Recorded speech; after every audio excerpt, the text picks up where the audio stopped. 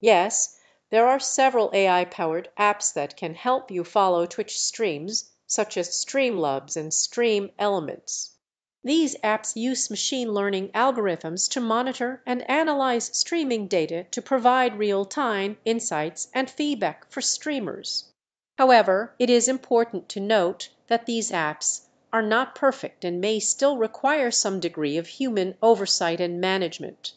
As for following Twitch streams, it is perfectly fine as long as you are not engaging in any inappropriate behavior or violating any terms of service.